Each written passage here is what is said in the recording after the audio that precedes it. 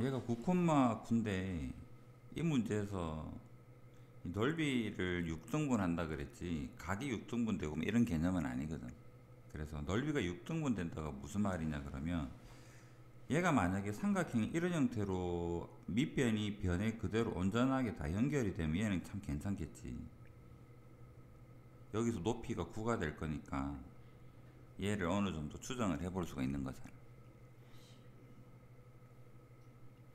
사각형 전체가 18, 18이니까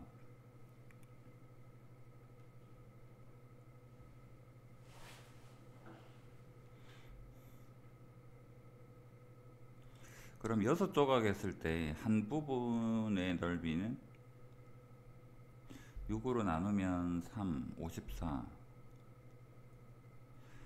그 다음에 여기서 높이가 9가 될 거니까 9 나누면 12. 여기서 여기까지가 12가 되어줘야 되는 거잖아. 그래서 변이 이렇게 그대로 삼각형 형태가 온전하면 12를 찾으면 되는데 이렇게 생기는 형태에서는 어떻게 볼 건가가 이 문제에서 관건이거든.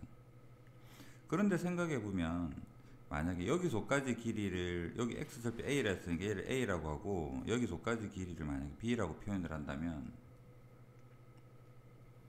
이렇게 잘랐을 때 생각해 보면 결국 요 도형의 넓이라는 게 2분의 1에 여기서까지 높이가 군 거는 알고 있으니까 요 부분의 넓이는 2분의 1 곱하기 9 곱하기 b가 되고 요 아래쪽의 넓이도 2분의 1에 9 곱하기 a가 되어서 이 둘을 더한 게 역시나 똑같이 54가 된다라는 이야기니까.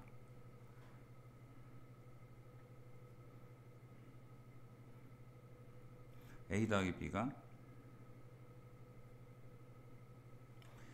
얘도 마찬가지로 12가 되어주면 되는 거죠.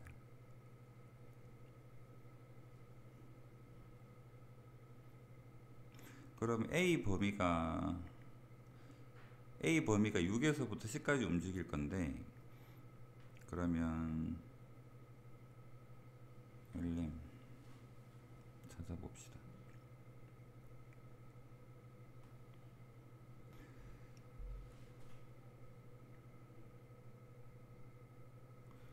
M하고 n 기울기를 찾아야 되겠네. 얘가 만약에 a라 그러면 여기서까지 길이는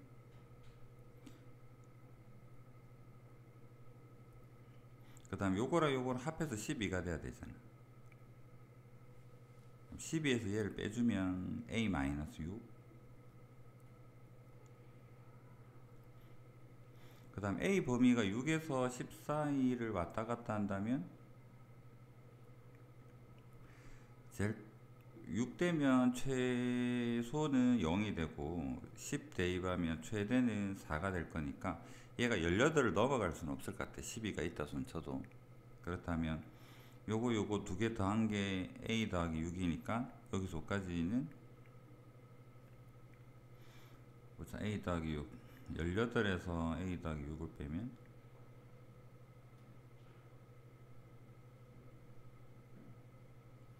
12 마이너스 a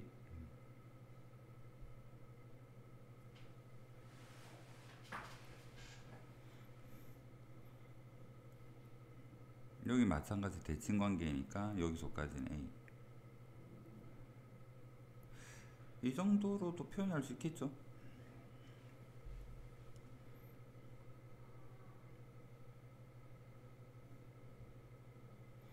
기울기 표현할 거니까 반 잘라서 좀 표현해야 되겠다. 이거 이제 12는 아니까 이거 잠시 지울게요.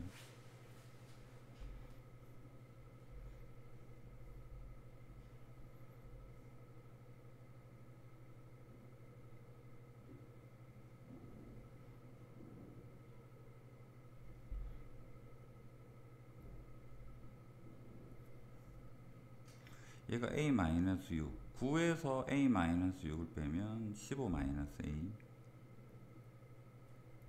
다음에 여기 아까 합해서 10이었으니까 아니면 여기 9에서 얘를 빼면 a-3 이걸로도 충분하지 않을까?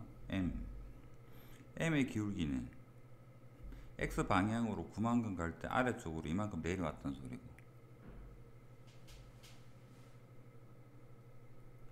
m의 기울기는 그러니까 m이라고 합시다. m의 기울기는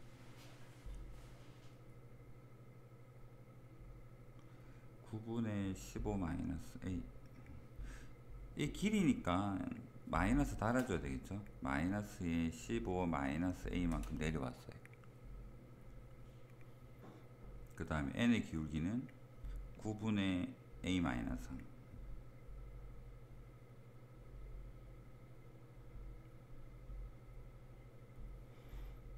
다음에 기울기 꼭 mn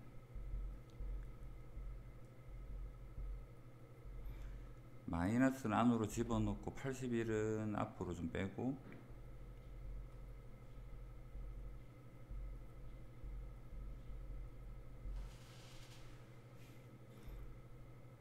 표준형 만들면 최대 최소를 찾을 수 있을 것 같긴 한데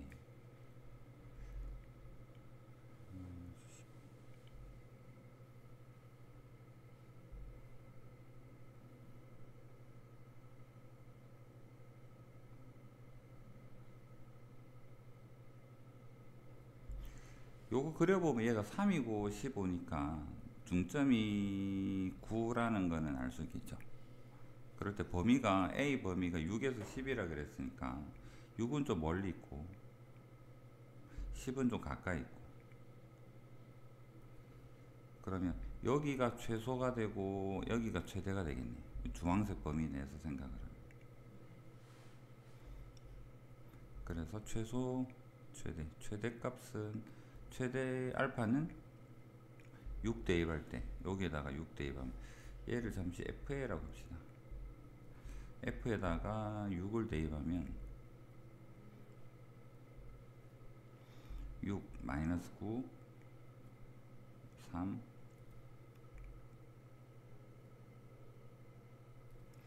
최대는 최소는 9 대입하면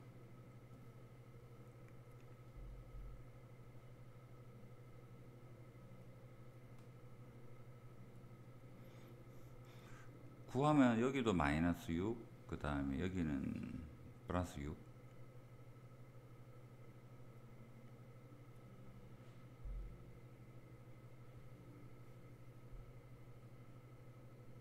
구분의 4, 마이너스 9분의 4.